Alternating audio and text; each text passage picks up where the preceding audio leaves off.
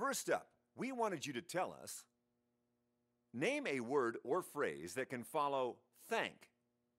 You said. Let's see what the survey says. A top answer. For question two, we asked Name somewhere you get dragged to against your will. So here's what you said. How many people said those answers? We've got one good answer and one uh, less good answer. Shopping.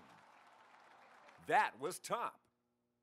Next up, we asked Name something you'd hate to discover was missing on the morning of your wedding.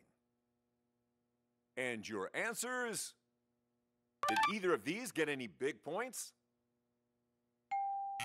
On the upside, one of those answers was good. Fiance. That was the top answer. For the next survey question, we asked Name something thrill seekers love to ride on. Let's remind everyone what you said.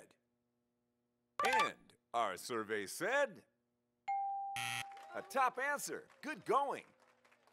For the final question, we wanted to know Tell me a term of endearment that your grandma calls you that you might also call your spouse. Your answers were This is for all the marbles. All right.